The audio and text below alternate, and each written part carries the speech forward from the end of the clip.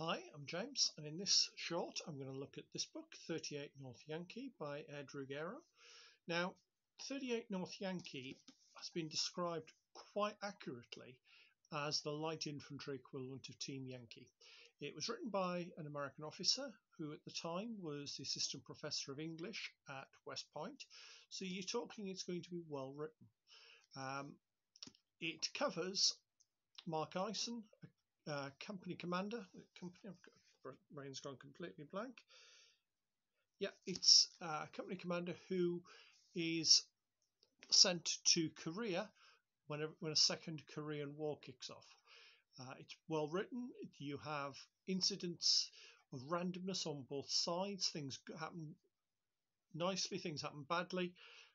Highly recommended. And if you want to learn about small infantry tactics, really good starting point.